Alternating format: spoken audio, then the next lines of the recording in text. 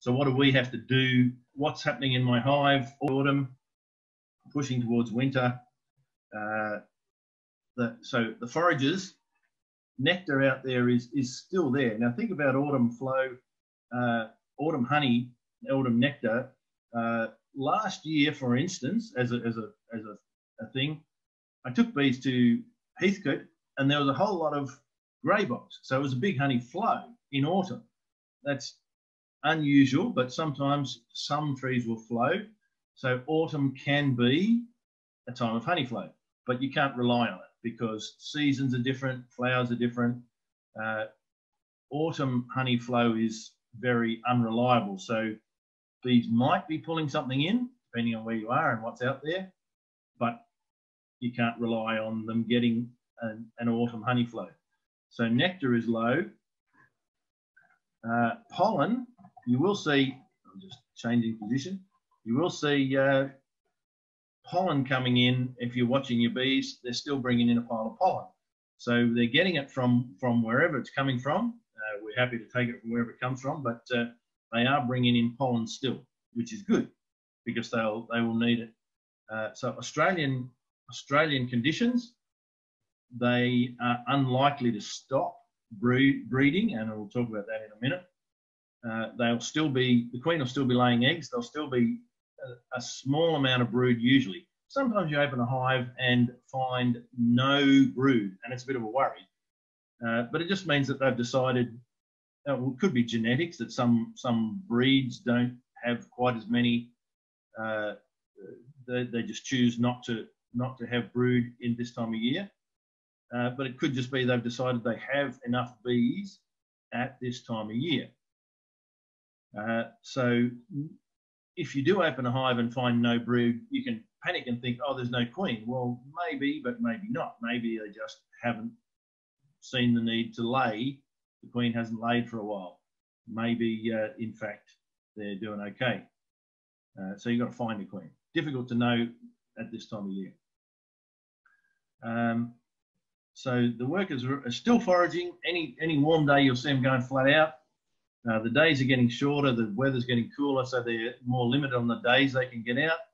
Days get shorter, you know, set the clocks back to daylight savings, and uh, and so they're going out an hour earlier and coming back in time for tea, uh, but knocking off earlier in the day for daylight savings. So that's the workers. Now the queen, uh, as far as brood goes, what's she doing? Well, she lives inside the hive. She's in the dark as per usual always in the dark, doing her own thing, and she'll generally still be doing her doing her laying eggs thing. Not as much. There'll be much fewer uh, eggs, few, much less brood at this time of year than usual. But the queen is most likely still laying. In most hives, she'll still be laying a little bit. Um, so living in the dark, doing her own thing. But now think of winter solstice that's late June. It's not that far away. In a couple of months, she will actually start laying it. It's, it's two months away, but it's not that long away. She'll start laying again. But for now, Queen's doing very little. As far as the drones go, drones depends on condition. Um, looking at some of Joe's hives the other day, there were still drones flying there. Not many. So the, they've, they've probably stopped producing drones, but there are still drones in the hive. Um, and I, I, as I, I, said to Joe the other day, uh, when we were looking at hives in, in I think 2018, the Varroa incursion, looking at hives around Port Melbourne to check for Varroa mites, there were drones in the middle of winter. You know, normally you would never be opening hives, so you never really see because it's a terrible idea to open hives and be pulling brood clusters apart in the middle of winter. Terrible thing to do, but we did it because we had to. And there were not only drones in some of those hives, but there were drone drone brood as well, which surprised me because you don't expect that in June, but there it is. So it's Australian weather conditions, uh, warm enough that that uh, they. You might read books that talk about how they chuck drones out. Well, you'll see that in Australia sometimes too. When when the conditions suddenly drop and they're in a dearth, they will also kill drones and chuck them out. But if the conditions are okay, they won't. They'll, they'll keep them in there. Uh, so drones, you there are still a few drones around. Okay, as far as the, the brood cluster, it's contracting, it's getting smaller, and the bees will actually be as the as the last bees hatch out around the edges of the cluster, the workers will fill up the empty cells around the edge of the cluster with honey. So there's no space for the queen to go out there and lay. They'll fill it up with honey, and so the, the honey effectively creeps in, encroaches on the brood cluster, and uh, the smaller brood cluster, smaller packed in bees, honey is actually closer in to where the brood is. Uh, yeah. Uh, are they full of stores? Yes, we hope so. Hope the bees are full stores. So that's that's the hive condition. That uh, hopefully chock block full.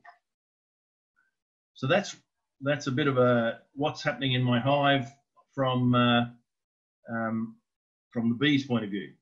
Okay, the uh, beekeeper responsibility. So this is the next part. Having seen that, that's what's going on. So what do we have to do next? Uh, I nearly forgot to say anything about autumn health check. Uh, remember, you have a minimum responsibility if you're a beekeeper, minimum to check your brood health at least twice a year. And we should be doing that more than twice a year, but that's at least twice a year. So generally speaking, spring, autumn, it is necessary to pull the brood cluster apart and see what's going on there. Doing really, you're doing a pests and diseases check. What's going on in there? If the brood is healthy, that's great, and you can put it back together. You're searching for foul brood, chalk brood, hive beetles, pests and diseases. So uh, I'm not going to spend a, a lot of time talking about pests and diseases, but as a beekeeper, that's your responsibility to learn about your, your pests and diseases and and be on top of what what does good brood look like, checking your hive minimum twice a year, and uh, checking all the brood cluster brood frames minimum twice a year, and finding out are they all healthy or is there an issue. So that's autumn health check. If you haven't already done it, we are running out of time. And when I say running out of time, we're talking about warm weather. We're running out of warm weather, really, not time, but warm weather. So you've got to get on to doing these last checks quickly. If you haven't done it already, we've got to get in there and, and do it quickly before you run out of warm weather. So particularly pack down is what we were going to talk about specifically, or pack down or wintering down. What is it? What does that mean? Well, really, it's all about setting up your colony for winter. That's that's what pack down is about. Uh, in wintertime, you really won't be wanting to touch them at all. You'll leave them alone for winter because if you open them up, they're going to lose a lot of heat and it takes some time to recover that heat. Best to just not touch them at all in wintertime. So anything that's got to be done, we've got to do it now before we run out of warm weather. So pack down, setting up for winter. So we want number one, best condition for winter, so which involves the most bees alive the least space because empty space takes heat to heat it up and loses loses heat. The best conditions to keep them warm and dry. Warm and dry are two different things. Um, dry is important as well as warm, and full of stores, as in honey and some pollen. So that's what it is. How do we achieve it? Well, the answer, of course, is that, that depends.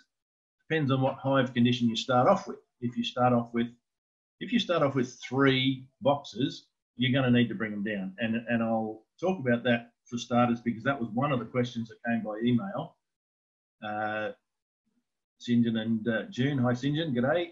Uh, the question was, uh, as I understand the question, with a hive that has two full depth brood boxes and, a, and an ideal for honey, uh, is that enough? Is that what we need? Well, if I've read the question correctly, you've got three boxes, and I would say uh, with pack down, the ideal often is suggested you should pack down to one box, but two, we can choose to pack down to two, but three, I don't see any reason to keep three. Uh, if you've got three boxes, you should be bringing down at, at least to two, possibly to one. because three boxes is just unnecessary. So as I understand it, we're talking about a hive with two.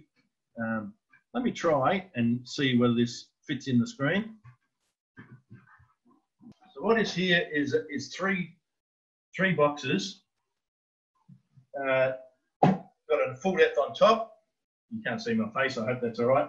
Full depth on top and th three boxes, too much. Here's a full depth. We're going to, let's say that two of these are full depth. If this, if the top one's full of honey and we want to keep a honey box, okay, we're going to keep a honey box. We'll put that aside. But if we've got two brood boxes, we want to get rid of at least one of them. So we're going to go through these two boxes and try and find at least eight frames to get rid of. Now, you might say, oh, they've all got something on them. Well, yep. They will all have something in them. And some of them will have honey, but some of them might have a little bit of honey. Some of them might be empty. That's easy, get rid of them. We want to pull it down from two boxes down to max, sorry, from three boxes down to maximum two, because three is just too much. There's no requirement for three.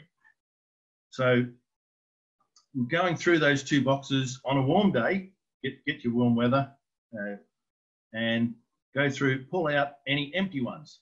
If we can get rid of eight empty frames, beautiful. Uh, obviously, any brood frames, any frames that have got brood in there, they're going to need to stay. But you're probably only going to find four or less, four or less frames of brood. So um, uh, pulling pulling out as many empty ones as you can, pulling out any that have got unsealed brood. Uh, sorry, unsealed nectar, honey. Uh, unsealed nectar can ferment. It's probably got too high a, a content. Sometimes the bees will rush to cap it at the at the end of autumn and, and just cap it over, even though the water percentage is too high. So you really don't want unsealed honey, unsealed nectar in there. Get rid of that if you can. Uh, next question might come, what if you've got a frame that's got some brood and also got some unsealed nectar? Well, that's okay. If you put the brood in, um, they're probably going to eat that first because it's closest to the brood nest. So chances are they will they will get rid of that sooner anyway. But any unsealed honey, eh, unsealed nectar that's not close to the brood nest uh, that doesn't have brood in it, pull it out, replace, keep only full frames in there. Um, so do I need to take off boxes? Yes. A couple of reasons here. Let's talk about why. Why are we packing down to one if possible? The first obvious thing is that the more space there is to heat, the more heat loss. If you've got bigger, if you've got two boxes or three boxes, you're going to lose a whole lot of heat there. And heat is what they need. They need to burn energy. And, and I have read that a if you do decide to keep a, uh, a double, two, two boxes of, of bees, they will probably burn through more honey in the winter than a single box would because they're, they're using more of their honey for heat production, for, for energy. So two, two, keeping two boxes will probably require more honey than one box. So keeping them warm and dry, uh, the, the smaller space, the better. Uh, if you've got two boxes, if you decide to keep two boxes for whatever reason, you would want ideally keep eight full frames of honey. If you've got two boxes, eight full frames. If you pack them down into one, then you'd be looking for five or six frames of honey. So imagine that you're pulling apart a hive and you see, let's, let's say you see three frames of brood. There's probably a little bit of, on that, you've probably got one full frame of brood and a couple of frames with partly brood, partly honey. Uh, so there's, let's call that half a frame of honey on each, so there's one. Then you add in five full frames of honey, then you've got five to six frames. And that would that should be enough in Australian conditions to get them through the winter. Should be. If you keep two boxes on, two full depths, then they probably will burn through eight frames of honey. And if you say that's fine, well, all right then. Um, next question, what if you got in there and found you didn't have that many frames? If you haven't got it. Now, I don't want to talk about feeding for too long, uh, but I'll just, uh, I'll, I'll, quickly show some feeders. If you get in and find, you know, you're looking for five or six frames and you haven't got it, you're going to need to feed soon. Soon because feeding sugar, if you have to, uh, if you have to do it, they need warm weather to evaporate the water out. This season's been so good in the Yarra Valley. If you've had the bees in good shape in the Yarra Valley and you haven't pinched their honey, you should have plenty of the, the bees' own honey to keep them going through. So they should be all right. But let's say that uh, uh, some, some, for some reason, maybe they'd lost a queen, they were without a queen for a month and they were in poor condition. Uh, something went wrong, or a late split, something like that, and they haven't got that stores that they need. Or maybe you pinched too much honey and you shouldn't have left so much, shouldn't take so much. Uh, let's say you've got a feed. I'll show you quickly a couple of different uh, different types of feeder, and I'll let's have a look.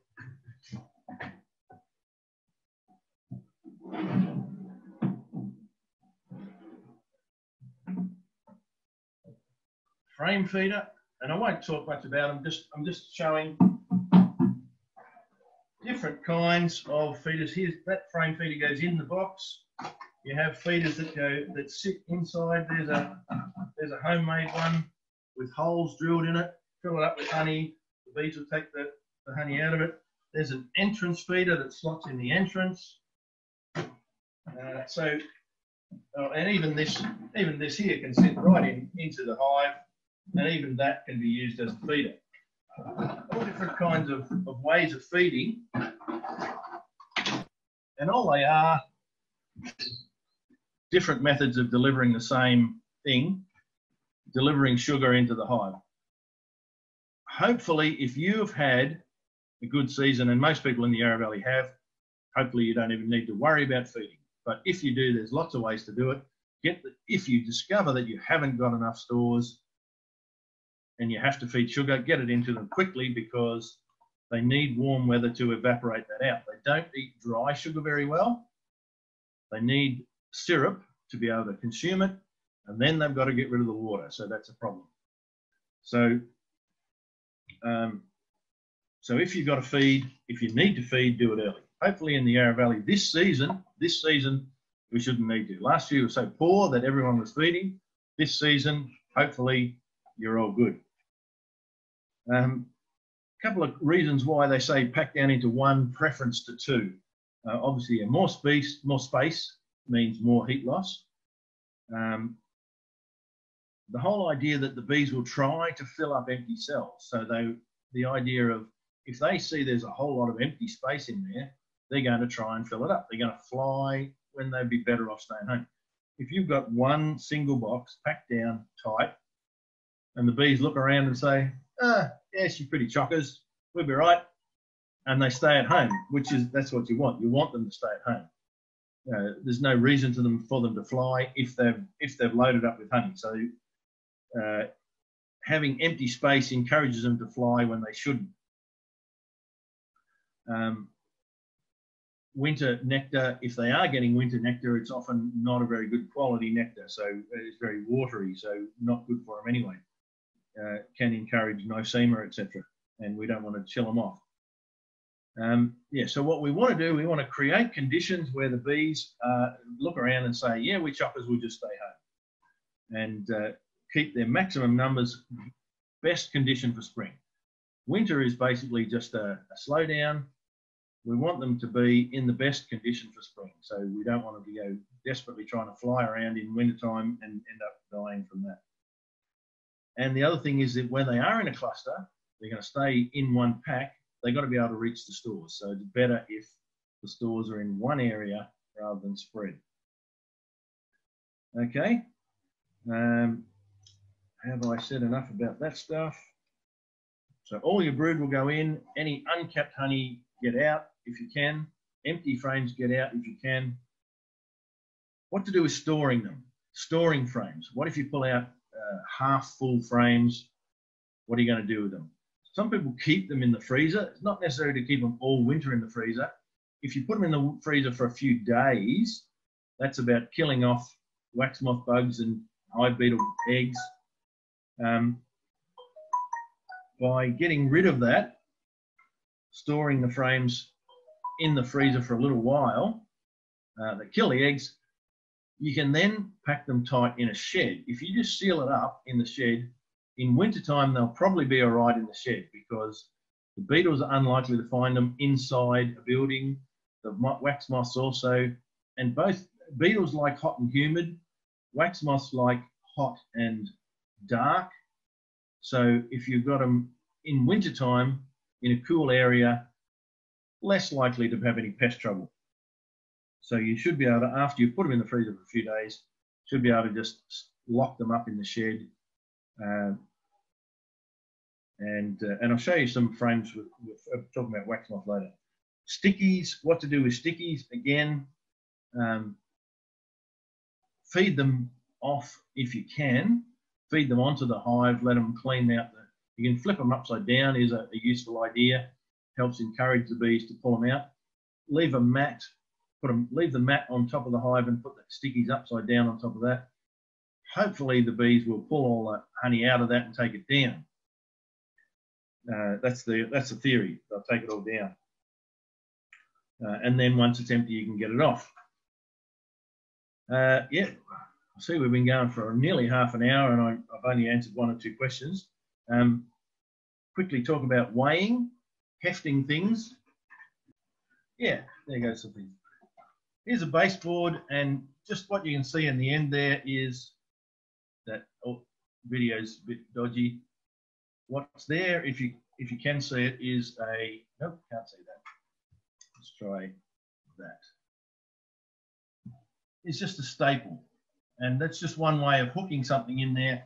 Here's a pair of, of old scales, just El Cheapo luggage scales that hook into the the back there. Now, what that means is you can use that, you can put that in uh, and get an idea of what the hive weighs or the, the relative weight of the back end of it. By doing that, you can even write that down and it will help to show you how the bees are using, how much stuff, how much stores they've got left, how they're using it. Uh, just a cheap set of luggage scales will do because it doesn't have to be an accurate measure. It's just uh, it's just letting you know how they're doing. Are they burning through it? But if you're not actually recording it, you can just do the same thing by lifting it. Just get a hold of it, lift it up, and and uh, if you do it at the start of winter, you say, oh yeah, that's pretty heavy. I know that they've got heaps of stores and that's heavy. Then get into June, July, August, and you lift it up and it's very light. Then you know that maybe they need. If you just remember, lock it in your head how heavy they are when they've got lots of stores, then when they're very light, then you know that maybe you might might need to feed them in springtime. That would be the time that you could pull out those half full frames that you had stashed away and slip them in, pull out some empty ones in uh, in early spring, get out the empties and put some half full ones in to make sure they've got food for, for spring. Uh, pests and diseases. I'll show you a couple of frames.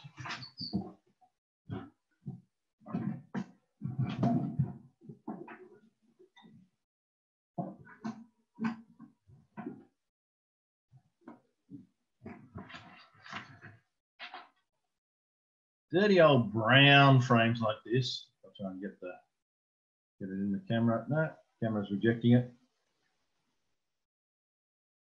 Dirty old brown frames. This is what wax moths love. Old brown dirty ones. They're not really interested in fresh new frames. Although here is one that is foundation and the, and the wax moth have damaged this probably because it was sitting around somewhere, sitting in a box, and, and maybe it was sitting next to a dirty old brown frame. Wax moth will eat clean, even foundation, good clean uh, frames. However, usually they're not interested. They really, they're really going for these dirty old brown ones. If a good frame is next to one of these, it'll probably get attacked by the, the, the moths from next door. But uh, if you're storing this kind of frame, um, you might you might question do I really want to keep this dirty old brown one? This is, this is not filthy. This could last another year or two, but you might decide, well, rather than leave it for the moths, I'll chop that out and melt it down. Eventually, you want to do that anyway. You don't want to leave them too old and too black. Beetles, you won't have too much trouble with beetles in this time of year because the cold weather, they'll slow down. There's still some out there and they will actually still be in the hive, but generally speaking, they stay in the hive and uh, the bees just keep them under control. Hate the fact that they're there, but they, they're unlikely to cause much trouble at this time of year.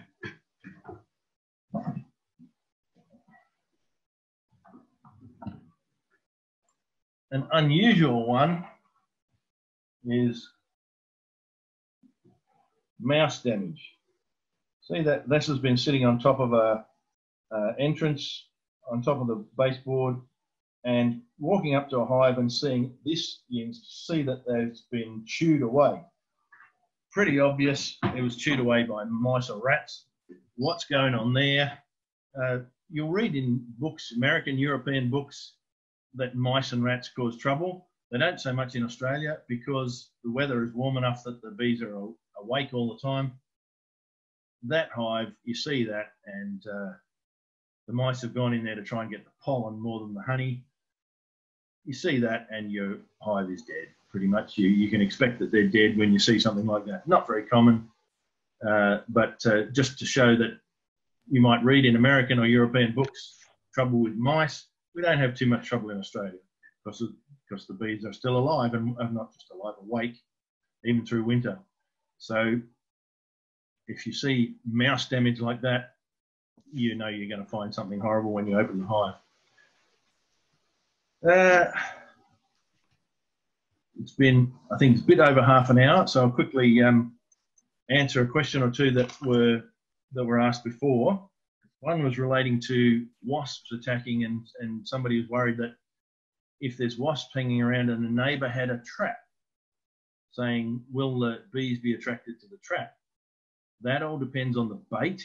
Of course, yes, yes, they will be attracted if it's a sugary bait. Uh, wasps, European wasps, can be attracted to meat or rotten fruit or all kinds of things uh, that bees are not attracted to. So it all depends on your what bait the neighbour is using in that trap. As to, but yes, yes, if he uses a sugary bait, it might kill bees too. Um, a question about aggressive bees.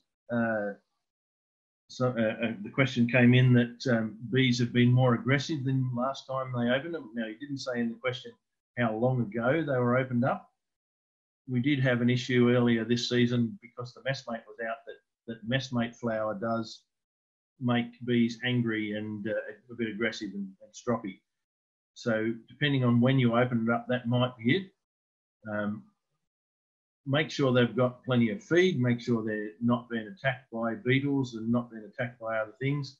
If they seem like they've got plenty of stores, come back to them in spring and, and if they're still aggressive in spring, you may need to requeen. But hopefully they'll be all right. Uh, so I've probably talked enough. Um, do we have questions to go? So, Phil, there's quite a lot of questions that have come in, which is fantastic. Thank you, everybody. Um, we might start at the top. There is is about 10 questions, so just keep that in mind. Uh, we have um, can frames with unsealed honey be stored without a problem?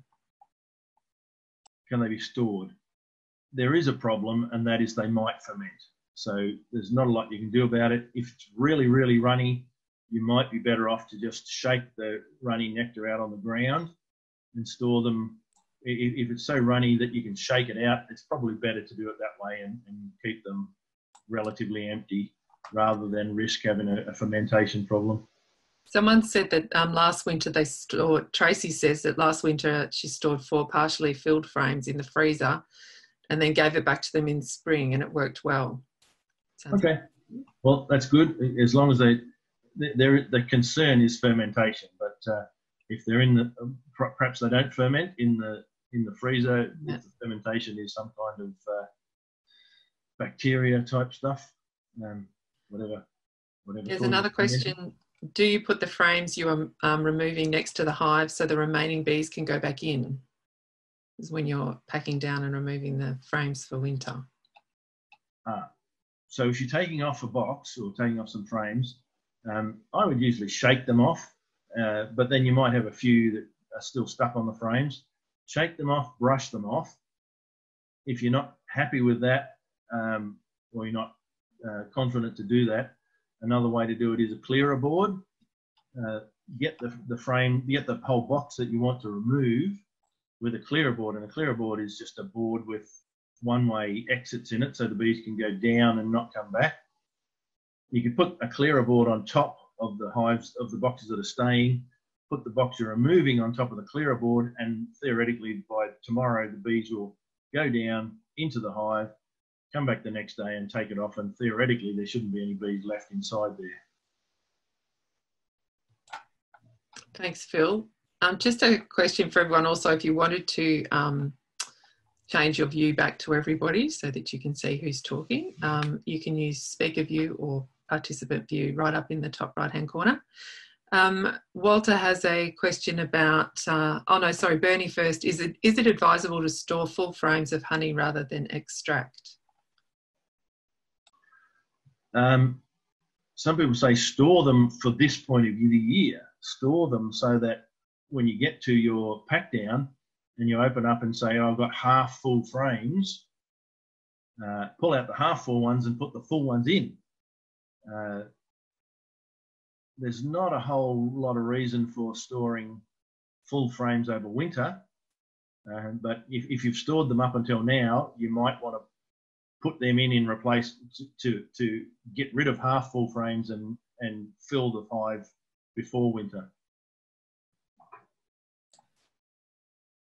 Thanks, Phil. There's another one. What about ants? Have people found hassles with ants when storing frames? It's from Walter. Mm-hmm. Yeah, ants is always a problem. Uh, we never get a really satisfactory solution for ants. Some people suggest cinnamon sprinkled around or all around the place, uh, but I've also seen ants ignoring the cinnamon, so uh, not a very satisfactory thing. I guess you've got to find out where those ants are coming from and uh, try and try and stop the ants rather than. Uh, there's not a lot you can do. Well, not, there's another way is sitting the hive or sitting the box on top of uh, buckets of water, kind of thing. Yeah, but that's a bit extreme. Remember, if anyone would also like to add to the answer or have anything to say, you can you can raise your hand. So you go over to participants and click raise hand. Uh, the next question, Phil, would be um, this is from Luke. When you um, when you melt down old black frames, how do you separate the cocoons from the wax? Okay, so melting wax, yeah. So if it comes to this point of year and you've got old frames that you want to get rid of that you that wax moth will probably ruin anyway, and you want to melt down your old brown frames you pulled out, melt down some capping.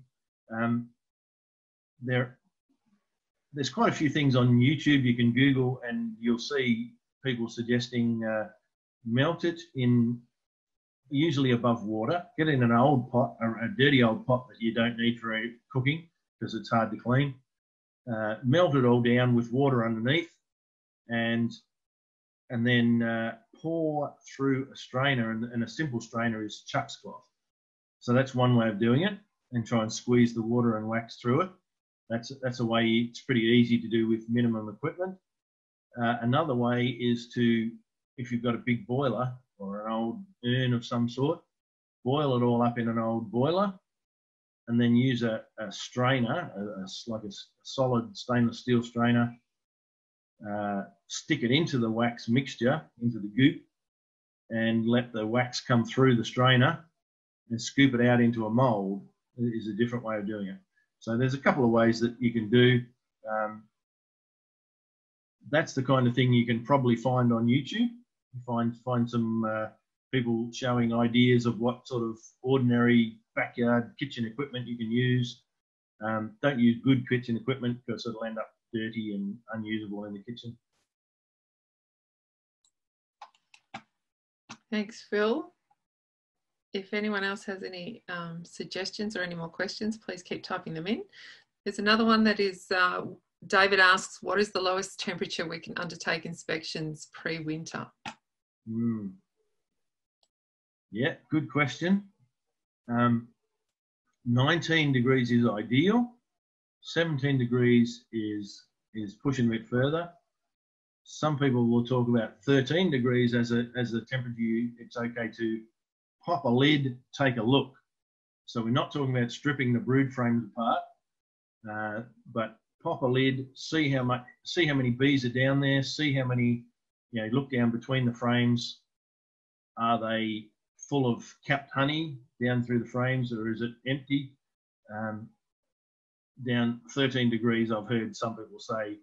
Below that, then you just no, don't touch them. Uh, but that when I, when I say 13 degrees, that's just for take a quick squeeze, see what's in there, put the lid back on. Um, as for for pulling them apart, uh, for a, for a full-on health check and, and brood check, uh, I'd be talking 17 minimum.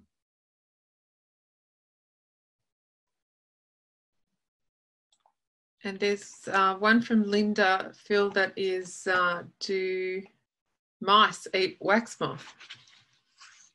That's a good question. Um, I wouldn't be surprised if they do. Not sure. Not, not 100% sure. But uh, I can imagine a mouse finding a wax moth larva and thinking that'd be a pretty good tucker. I reckon. Not not 100% sure of that. Uh, the other one is uh, what is what is the preferred width for the hive entrance over winter? That's a good one. Oh, good question. Yes. Um, there is no reason to have a wide entrance. Uh, on my hives, I have a little swinging door on most of them, and I close it down very close. Uh, there's no reason why you need a wide entrance in wintertime. Um, so to put a figure on it, call it 25, 30 mil would be plenty. Uh, three, four, five bees could go through that width at a time.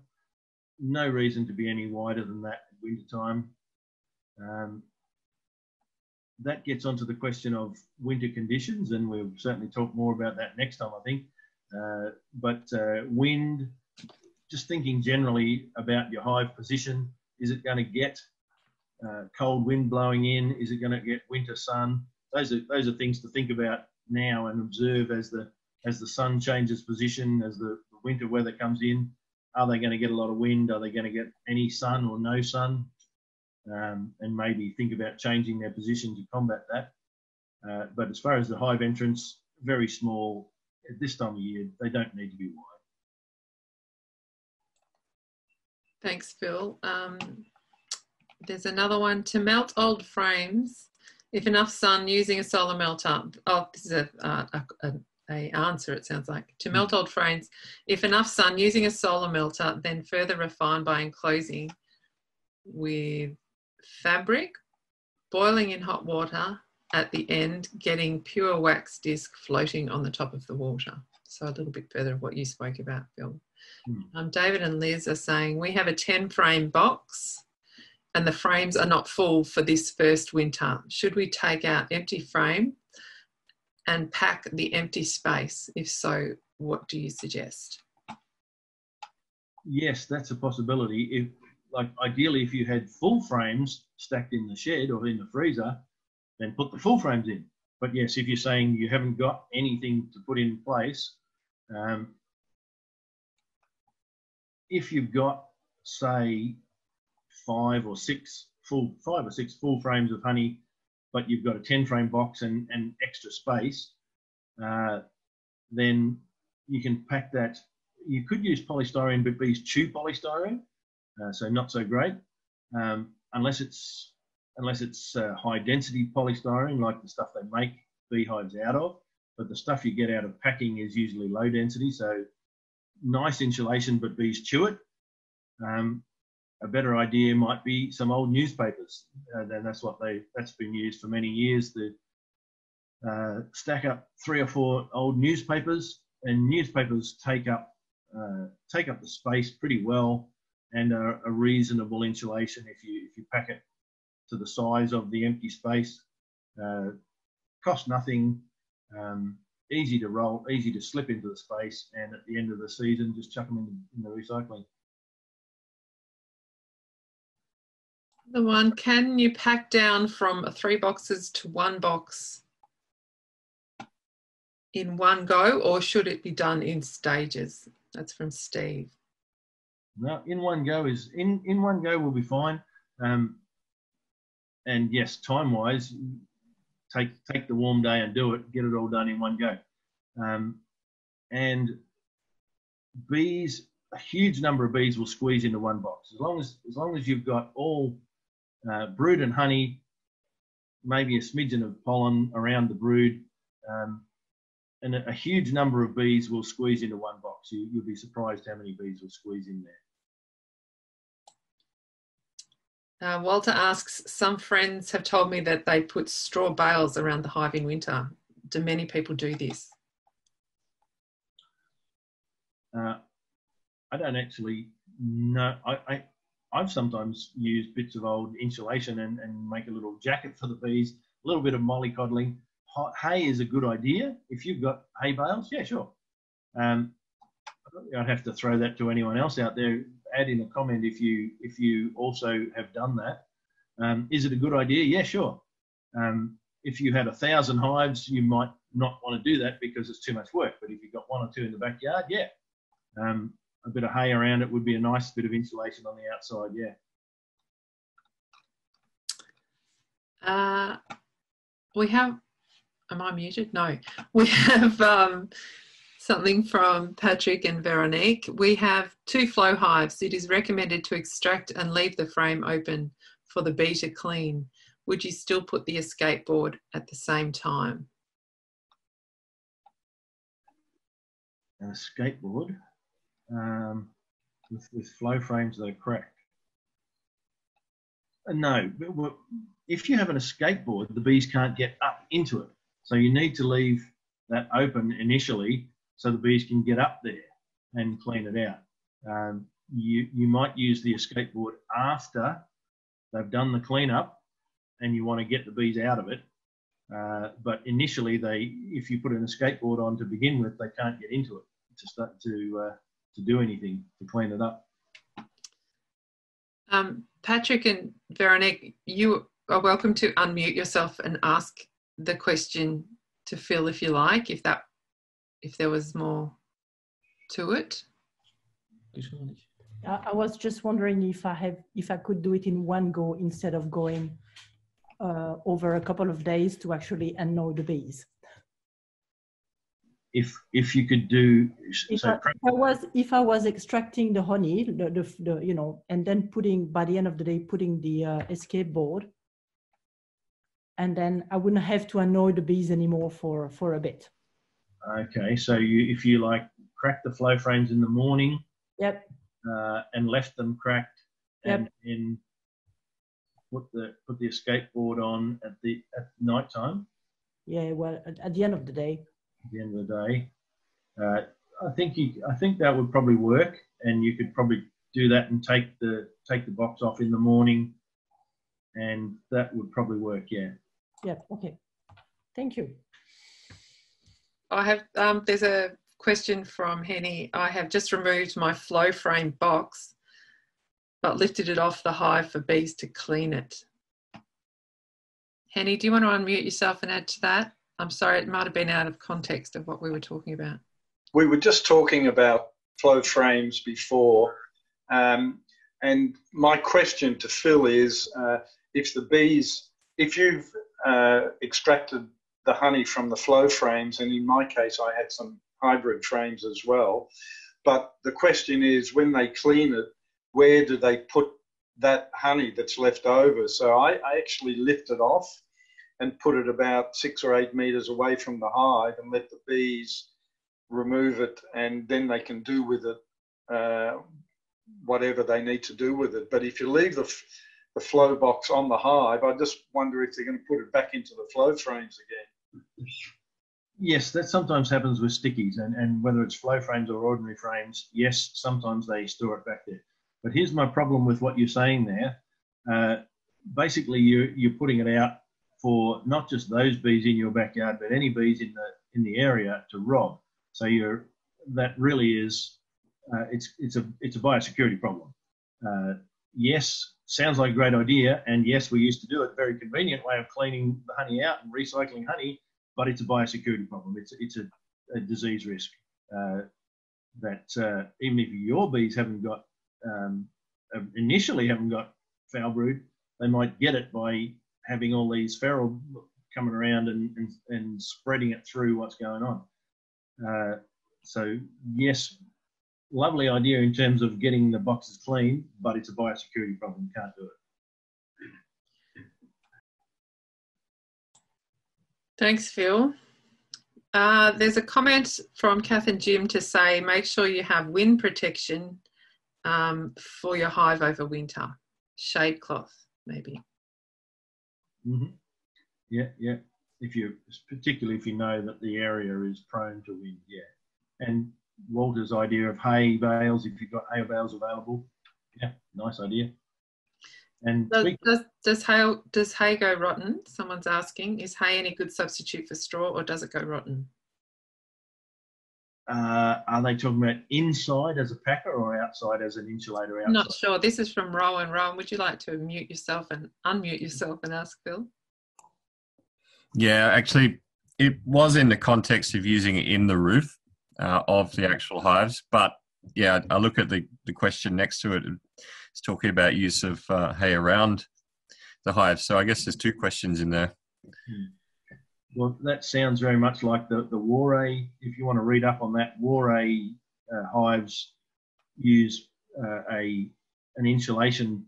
Uh, can't remember what they call it. A mat, well, a mat, but is the word they use for it. But it's it's really a layer of of uh, hay and stuff that soaks up condensation and and is an insulation layer. Uh, and I'm pretty sure they use hay. That's part of the plan. So if you want to read up on Warré hives, uh, that's that's part of their. I think they have it in their year round, and whether they chuck it away at the end of the season, I'm not sure. But but it's, it's it would be all right to have it in there. Great, thank you. No worries, right. Jim and Kath would like to add something there, I think. Joe, um, Beewise don't recommend using hay. They recommend using straw. It's less likely to rot inside the hive. Inside the hive, yeah. Thanks, Jim. Like dry, uh, dry straw rather than grass hay. Yes. Okay. Righto, thanks, Jim. And while I'm thinking of Jim and Kath, um, before I forget to say it, honey sales uh, we're waiting on some labels for the honey co-op honey. Uh, once we get the labels, there'll be honey available. So just throwing that in before I forget, uh, and we'll we'll put that on Facebook when that's ready to to arrange. If anyone's interested in buying honey co-op honey, sure everyone will be. Thanks, Phil.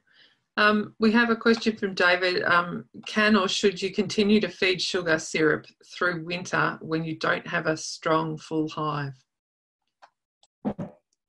To continue to feed it. Uh, yes, uh, for instance, uh,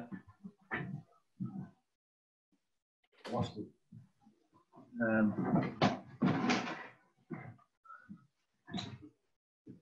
this one here uh, is a uh, an entrance feeder.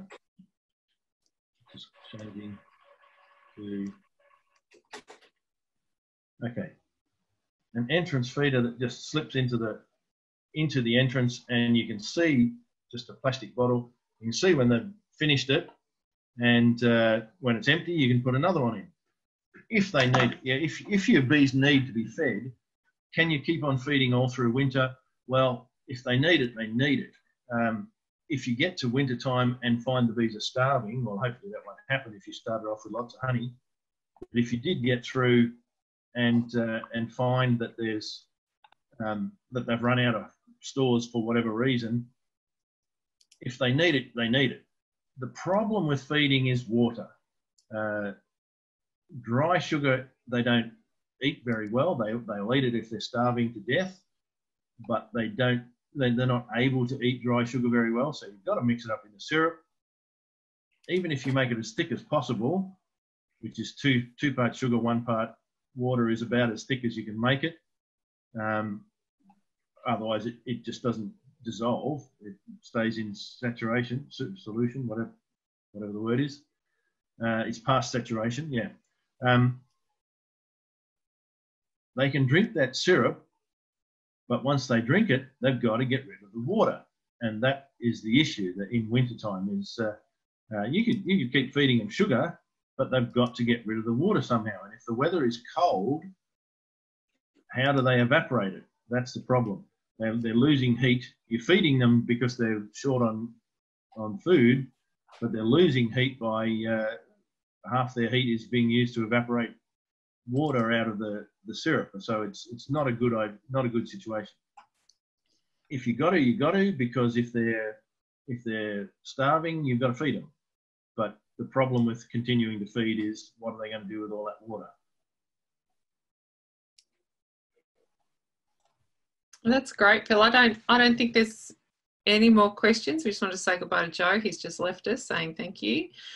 Um, does anyone else, um, you're welcome to unmute and just ask a question if you have any. It is one, it is one, oh, 2.30 now. So uh, we probably haven't got too much longer, but you're welcome to um, ask a question if you do. Any questions? Does the committee have anything they wanted to say? Any reminders? Okay, okay so, oh, Linda? if anyone's got any library books still out, you can always return them to me at my house at uh, Kilsyth um, or Post Office Box 359 in Kilsyth 3137. Um, and I will store them until we get back. Thanks, Linda. Mm-hmm. Um, we also just wanted to uh, to say uh, if you have any suggestions of any any other topics you would like to hear from, we're still working with the speaker that was planned for our um, May meeting, but we'll just um, take any suggestions people have of things that are coming up over winter. So send them through to to our email address if you wouldn't mind. Um, and Phil, is that all you would like to say? Will we say goodbye and thank everybody? We haven't bored people to death, then uh, that's all good. I, I actually think it worked quite well. So thank you to everyone for being fantastic and for Phil for all your amazing knowledge and sharing. If anyone's got any questions, we also put in the newsletter that if you've got, we're starting a Q&A um, on a, in our newsletter and on our website. If you'd like to ask any questions, send them through. Okay, I can see lots of people using thumbs up, which is really nice. Thank you so much. um, so if not, we'll see you all um, next meeting, we will continue to do these, obviously, through COVID. So um, we'll let you know when we can all see you, see you in person. Thanks, everybody. Great effort, Joe. Thank you. Hey, thank, thank you. you to everyone. Thank you. It was brilliant. Thank you very much. Everyone. Bye bye.